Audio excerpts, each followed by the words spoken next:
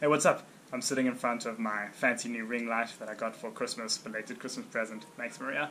Um, and today I wanted to talk about what's been happening recently uh, and all the thoughts that I've been having about COVID and staying at home. And in particular, like I've realized just recently that like my life the last year and this year coming is not going to be what I want it to be.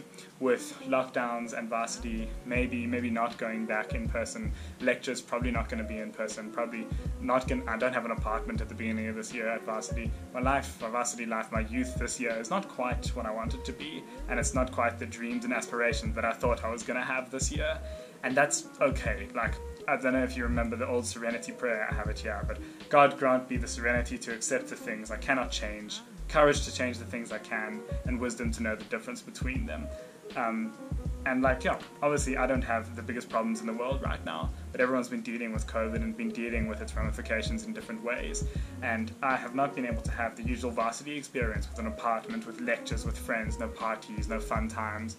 And that's okay, you know you have to make the most of the situation given to you. So I've been doing some really deep thinking recently, and I've come to the conclusion that I can't have those things, but I got to make the most of the time that I've got right now and make most of the opportunities I've got right now. I've got more extra time at home at the moment, so I've got to learn things and spend time doing things that I wouldn't usually be able to do at varsity uh, during a normal semester time. I've got all this extra time, so I need to learn new coding languages. I need to spend time on doing Udemy courses that I've wanted to do for years. That's why I've been at the moment doing an AI Udemy course. I've been doing a Flutter Udemy course. I did a web development Udemy course. Those are things I wanted to learn for a long, long time and didn't get to do it because varsity was sucking up all my time. But now that I'm at home more, um, and especially with this long holiday and that you, you can't see as many friends, can't go out as much, just got to make the most of it. Got to take advantage and use it to your benefit.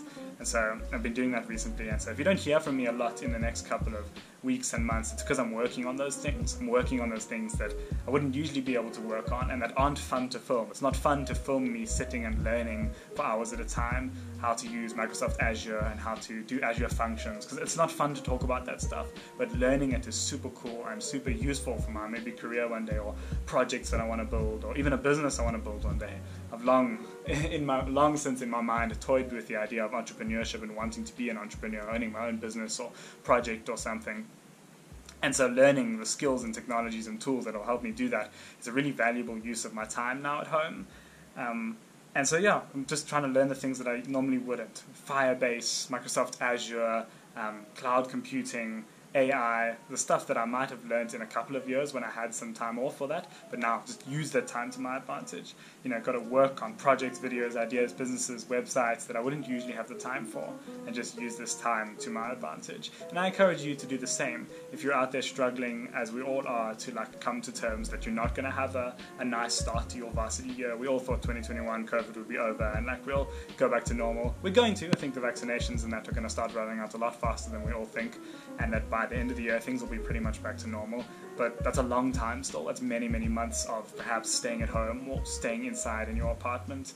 And that's time that you can use to your advantage. Learn cooking, learn arts and crafts, you know, build, start a business, start a blog, start writing, anything that you might have left for a couple of years for one day.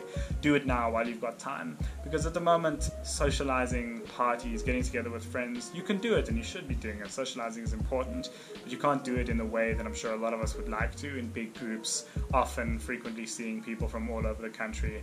Um, I'm going to be to varsity in like a week and a half's time just for a two week holiday module, and I'm really excited to see my friends, but I'm not sure after that what the rest of the year is going to be like in terms of seeing people, in terms of hanging out with them, in terms of spending quality time with young people my own age. And so I'm going to take full advantage of it. And then if we have to go back, if I have to go back home after this, because I don't, after that, because I don't have an apartment, I'm going to go back home and I'm going to take full advantage of it and carry on working on my job. I'm going to learn more uh, AI and web development. I'm going to do my best to build a few of my own personal projects. Like really take advantage of this time. I'm 21 years old, got my whole life ahead of me really to be young and to do fun stuff and to enjoy my youth really.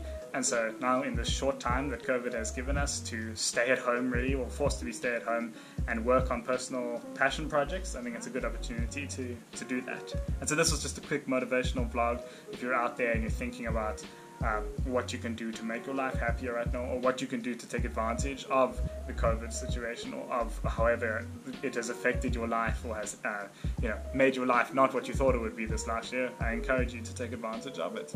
And yeah, obviously this is not a big problem. Like the world is suffering right now. People are going through a lot more difficult things than not being able to see friends in varsity. But just because other people have worse problems than you, don't mean your problems still aren't meaningful. And so, yeah, that's what I wanted to say. Thanks for watching this video. And so if you don't hear from me, it's because I'm busy grafting my ass off. Talk to you soon.